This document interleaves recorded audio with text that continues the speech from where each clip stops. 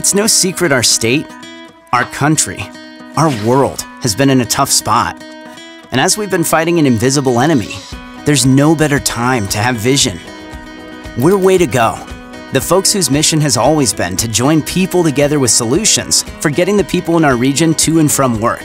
But now, it's time to shift focus. Recently, we've all adapted. We can telework from home. We have the tools, and we certainly have the talent. We've been Skyping, Zooming, FaceTiming, and going to meetings via GoToMeeting for quite a while. So let's mobilize and make it the norm. Sure, gas consumption, pollution, and traffic congestion are down, but now's the time when productivity, experimenting with new ways to work, and just all out trust in one another can soar.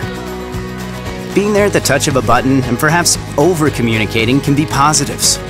And as we ease back into normality, encouraging employees to work from home a couple days a week could help in the goal of easing traffic congestion. Together, let's do the little things we can to help keep traffic congestion down and air quality in good standing. We're here to help. Visit us at waytogo.org.